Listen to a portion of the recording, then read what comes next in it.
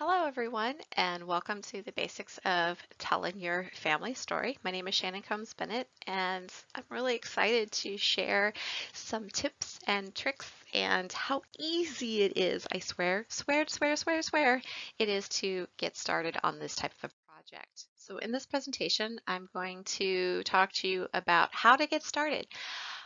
This is a warning though, if you're looking for ideas and examples of how to do a genealogical name, date, place, Ahnentafel type lineage book, this is not the lecture for you. So this is more of a how to get started writing the stories of your family, um, how to share your research with other people in a easily, I guess, easily digested, easily um, uh, to consume. I must be hungry, um, but but in a way that people will find appealing and want to read your stories. Okay, so let's get started. So first of all, family trees, they're a little boring. You know, they're meh, names, dates, people, lines. So why do we do this to ourselves? Why do we publish pedigree charts or fan charts? And yeah, it's a nice way to see everybody at one time. And maybe I'm just weird, but those stories, right? The stories we find out about our family and our ancestry, that's what we really need to be collecting and passing on in addition to the names, dates, and places, right? And it shouldn't just be a list, right? You could start with a list. Okay, so here are the things that they did. This is the places they go in, blah, blah, blah. But you should fill in the information with a narrative, right? Fill it in with social history. What was happening in their town? What was happening in their state or their county or the world at the time? How did it affect your ancestors? Would it affect your ancestors? Um, did they have to move because of something that was happening? Make the story accessible to everybody. Make it interesting. Make people want to read it and hear it because hopefully you're sharing this with your family. And as being the same family from the same people, you would think they would want to know a little bit about where y'all came from.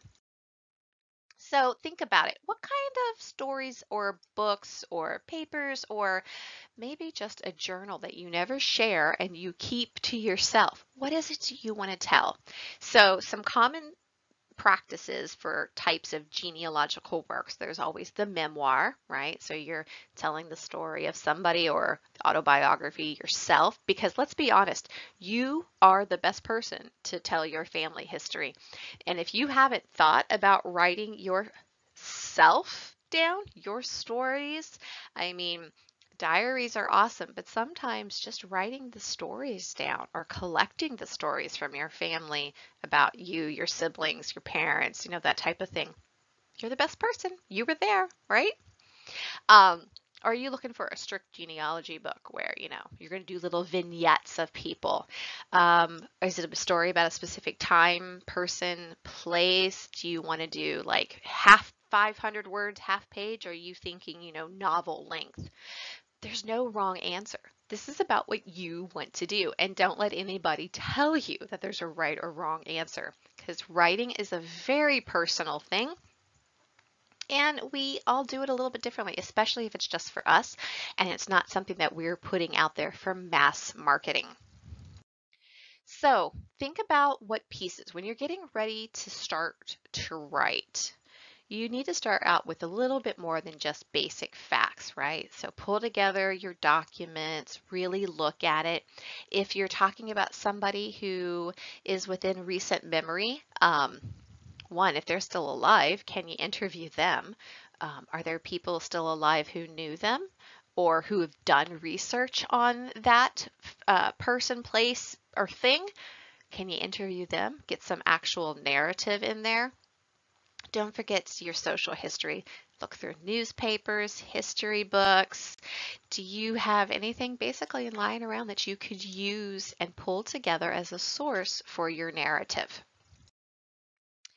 And think about sometimes people, oh, they're like, I don't know what to write.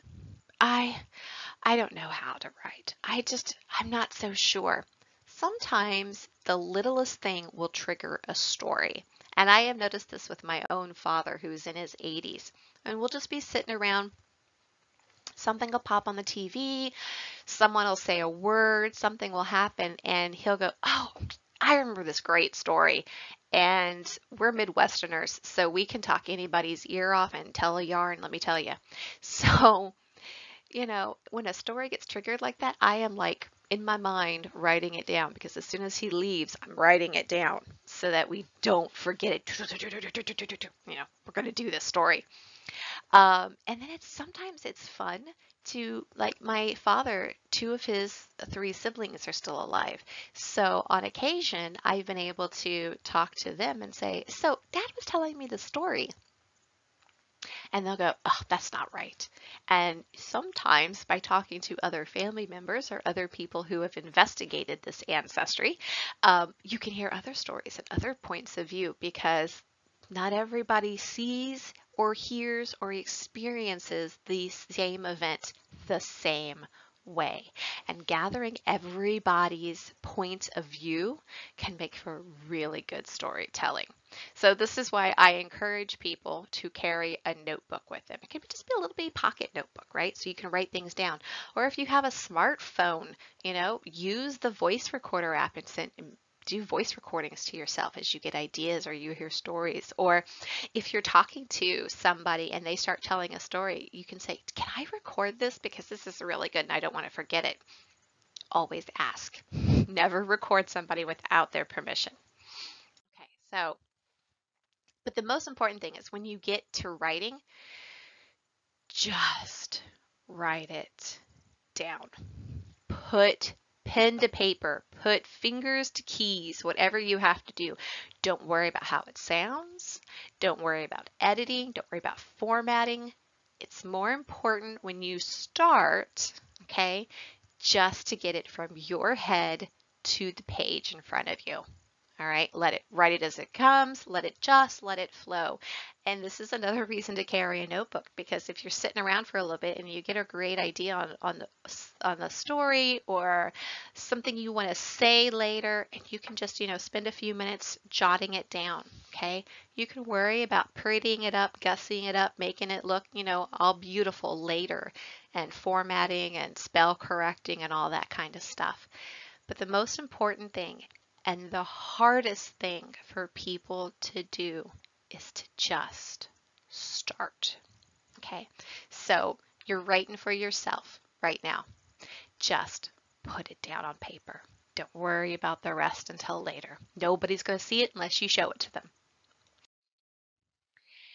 Another thing, sometimes it's easier to write, especially if you're thinking about writing um, a chapters or a large number of vignettes or a multi-page story.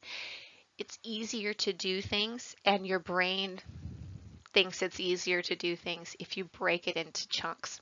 Uh, there's a couple sayings that when I say this that always pop into my mind. One I was told as a child is you can always eat an elephant one bite at a time. You know, thinking about eating the elephant is just overwhelming and anxiety ridden. But, you know, if you take little bite sized pieces, you could eat the whole thing.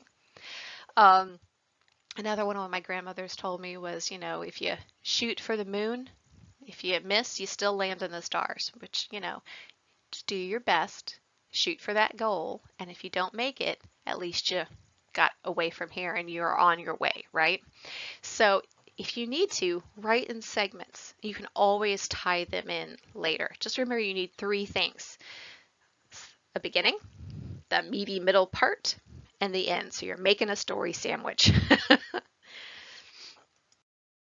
and of course, every story needs a hook, and that should be part of your introduction.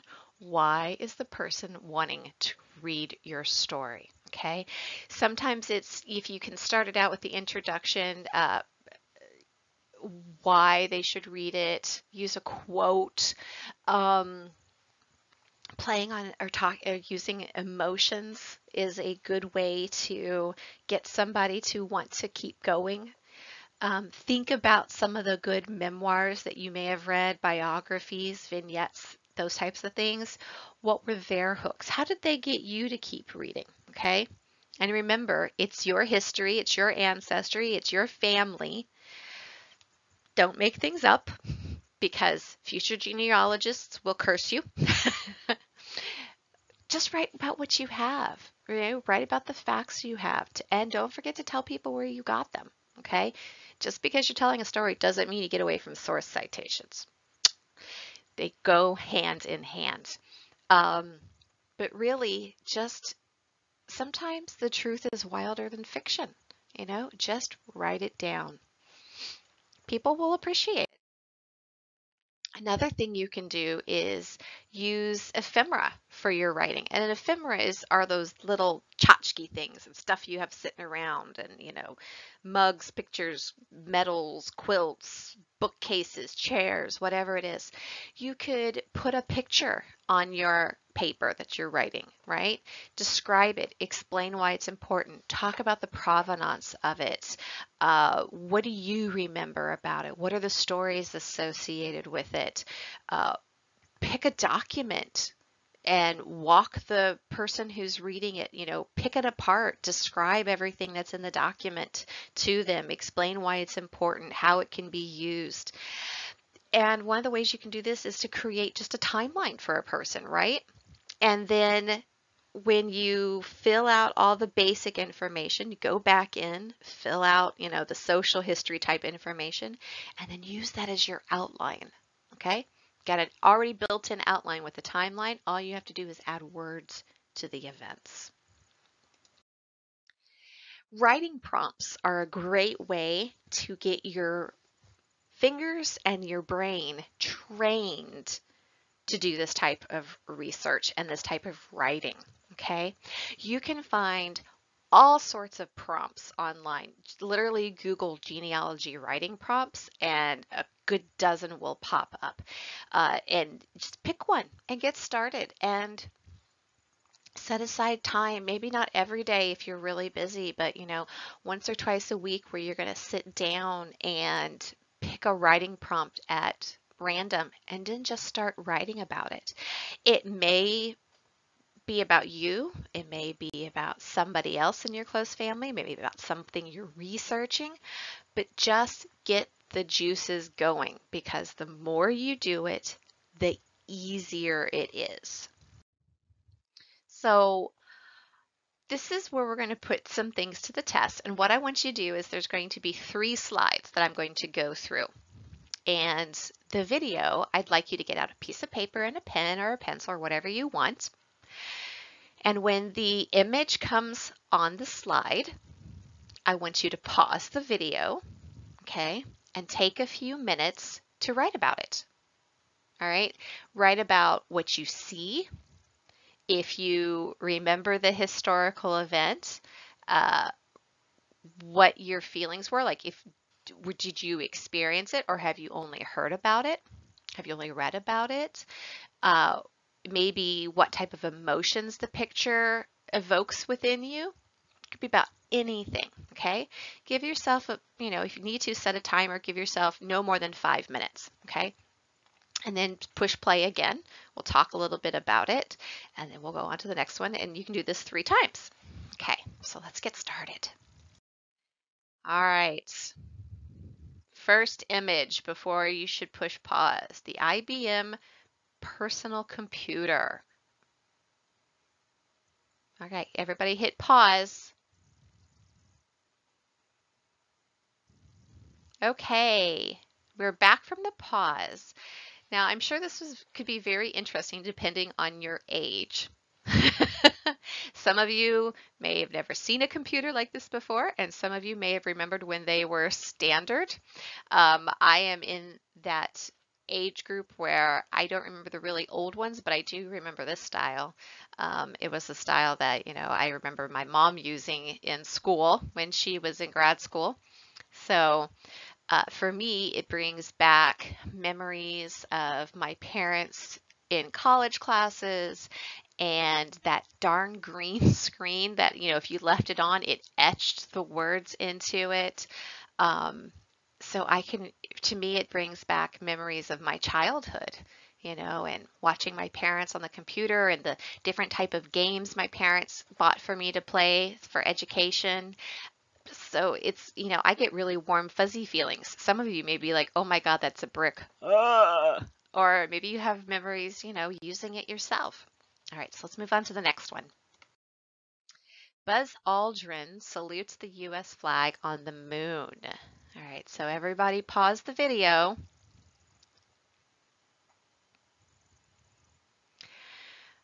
Okay, so hopefully we've spent a few minutes talking about this.